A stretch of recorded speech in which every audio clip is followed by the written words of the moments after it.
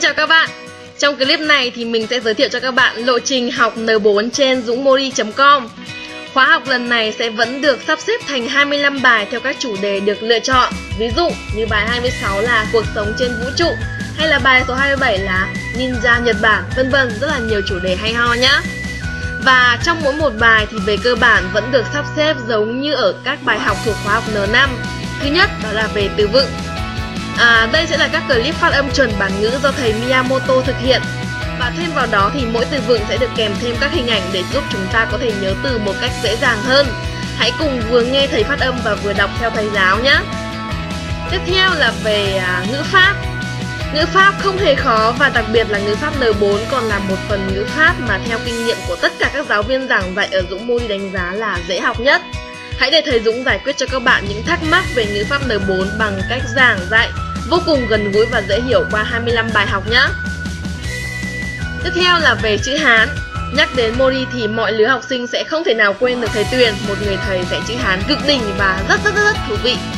Vậy thì còn chờ gì nữa, hãy cùng khám phá ngay những bài giảng chữ Hán vô cùng thú vị của thầy Tuyền nhé. Tiếp theo là về đọc hiểu. Có ai thích cô Thanh không? Hãy cùng học đọc hiểu N4 với cô Thanh đáng yêu của chúng ta nhé đảm bảo sẽ không còn thắc mắc nào luôn và cũng sẽ không còn bao giờ phải sợ một bài văn toàn chữ Hán là chữ Hán nữa đâu nha.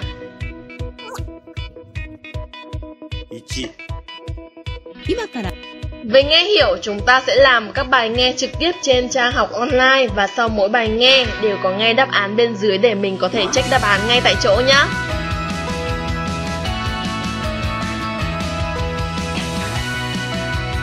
Cuối cùng là bài test à, Bài test này sẽ được chuẩn bị sau cuối à, các bài giảng của một bài học và chúng ta nhất định nhất định không bao giờ được bỏ qua phần này để xác nhận xem là mình đã hiểu được bao nhiêu phần trăm phần kiến thức qua mỗi bài giảng của các thầy cô vừa rồi nhá.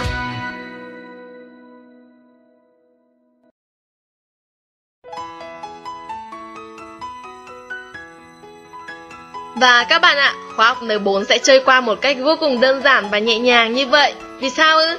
Vì các thầy cô của Dũng Mori sẽ giúp các bạn cảm thấy học N4 dễ như ăn bánh vậy luôn á. N4 không hề khó vì đã có Dũng Mori.